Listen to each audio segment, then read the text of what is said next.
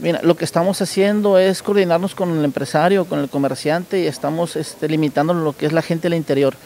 Este, y al exterior pues estamos coadyuvando con lo que es seguridad pública del municipio para guardar lo que es sana distancia de todas las personas que están esperando turno para ingresar. ¿no? Mira, yo no, yo no me aventuraría a decirte un cierre, ¿no? o sea, ¿por qué? Porque realmente lo que es la pandemia aquí en el municipio, pues si, si analizamos cómo se ha comportado en los últimos 20 días, ha estado muy controlado los contagios diarios.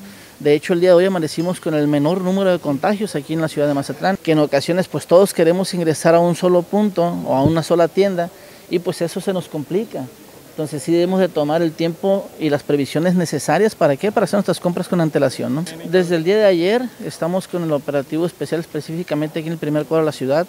Eh, vamos a redoblar también esfuerzos lo que son las plazas comerciales, específicamente Grerías, Gran Plaza y Ley del Mar, que es donde hemos tenido un poco de, reportes. Habría que checarlo con oficial mayor a ver qué disposición tienen ellos. Ellos son a fin de cuentas, los que van a dictar y van a regular lo que son los horarios de establecimientos. ¿no? no, no hay técnicos en aquí de Sardana.